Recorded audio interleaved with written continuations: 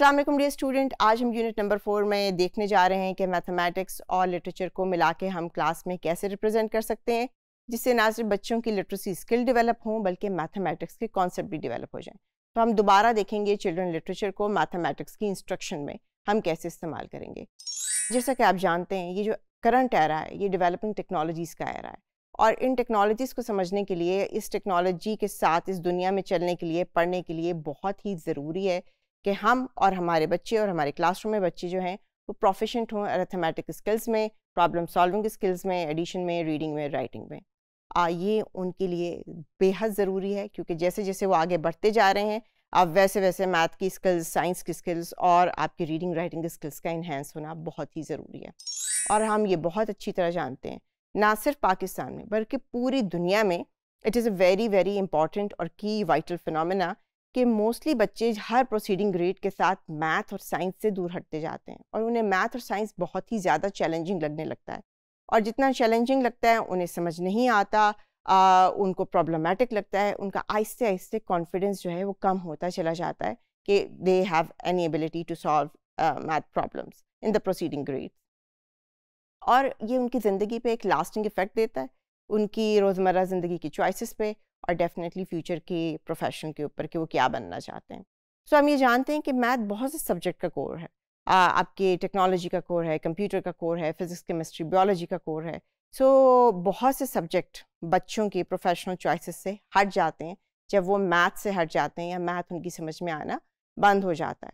तो टीचर्स का ये काम है डेफिनेटली और आप स्टेम को पढ़ ही रहे होंगे। स्टेम में देखें S stand for science T for technology E for engineering and M for mathematics ये कितना इंपॉर्टेंट चीज़ है जो टास्क टीचर को दिया गया है कि हमने बच्चों को मैथ और साइंस में फ़ेल होने नहीं देना, उनका कॉन्फिडेंस लूज़ होने नहीं देना। तो बींग एज अ टीचर हमारे पास रिस्पॉन्सिबिलिटी है कि हम बच्चों की सेल्फ स्टीम को बरकरार रखें और उनका मैथमेटिकल एप्टीट्यूड भी बरकरार रखें। कैसे बरकरार रख सकते हैं? उसके अंदर कहानियाँ बहुत ही अहम एलिमेंट हो सकती हैं। जिसके थ्रू आप बच्चों को मैथ के कॉन्सेप्ट सिखा सकते हैं और एक रियल कनेक्शन बच्चों के दरमियान और उन कहानियों के दरमियान डाला जा सकता है। जिससे बच्चे समझ सकें कि कैसे ये मैथ के कॉन्सेप्ट इस कहानी में चल रहे हैं और हमारी ज़िंदगी में भी इसी तरह चलते हैं। उनकी मैथमेटिकल अंडरस्टैंडिंग बेहतर हो जाती है।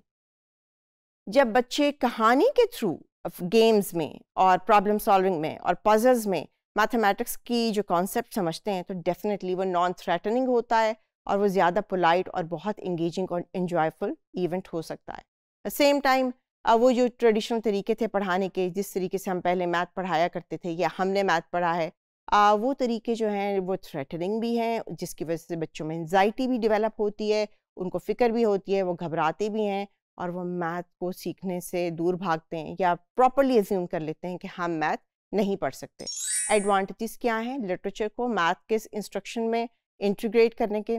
पहला एडवांटेज ये है कि ये एनजाइटी को कम करता है और जो आपकी मैथ रिलेटेड एनजाइटी है क्लासरूम की वो रिड्यूस हो जाती है और बच्चे थोड़ा ज़्यादा इंगेजिंग हो जाते हैं।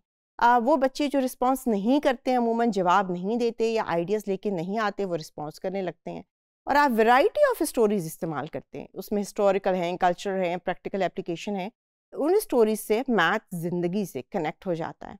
और हम आ, उन कहानियों में से प्लॉट लेते हैं उन्हें मैनुपलेट करते हैं और उसको कहानी को मैथ से रिलेट करते हैं। ये एक बहुत ही इंटरेस्टिंग पज़ल और गेम बन जाती है और प्रॉब्लम बन जाता है जिसे बच्चे सॉल्व करते हैं।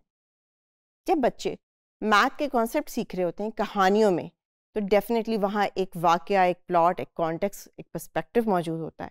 उस पर्सपेक्टिव में इंगेज होने से ज़्यादा बच्चे जो हैं मैथ की प्रॉब्लम्स को सॉल्व करने में अपना टाइम लगाते हैं, दिमाग लगाते हैं और स्किल डेवलप करते हैं। और उनकी ज़रा अंडरस्टैंडिंग भी डेफिनेटली बेहतर हो जाती है। ना सिर्फ़ मैथ बेहतर होता है, उसके साथ साथ इंटीग्रेट होती है reading writing speaking listening skill वो सुनते हैं, बातें करते हैं रीड आउट करते हैं और सोच रहे होते हैं मैथमेटिकली भी और लैंग्वेज के थ्रू भी। सो मैथमेटिकल थिंकिंग हम प्रमोट करते हैं। हाउ टू थिंक मैथमेटिकली किस तरीके से स्टूडेंट की असेसमेंट कर सकते हैं? Teacher understanding by reading aloud और आस्किंग क्वेश्चन बच्चों को बाकायदा कहानी पढ़ के सुनाई जा सकती है, या उनसे सवाल जवाब किए जा सकते हैं। और एक्टिव पार्टिसिपेशन जो है, बच्चों की प्रॉब्लम सॉल्विंग में नरेटिव कहानी में, बच्चों को कहा जा सकता है कि वो पार्टिसिपेट करें डिस्कशन करें। और टीचर और स्टूडेंट जो है, वो एक्सपीरियंस को जब शेयर कर रहे होते हैं तो डेफिनेटली वो ज़्यादा लर्निंग ज़्यादा इंक्लूसिव ज़्यादा बेहतर इन्वायरमेंट बना लेते हैं। जहाँ के मैथ और लिटरेचर को इकट्ठे पढ़ना आसान भी होता है इंजॉयबल भी होता है और रिलेशनशिप बिल्डिंग भी होती है।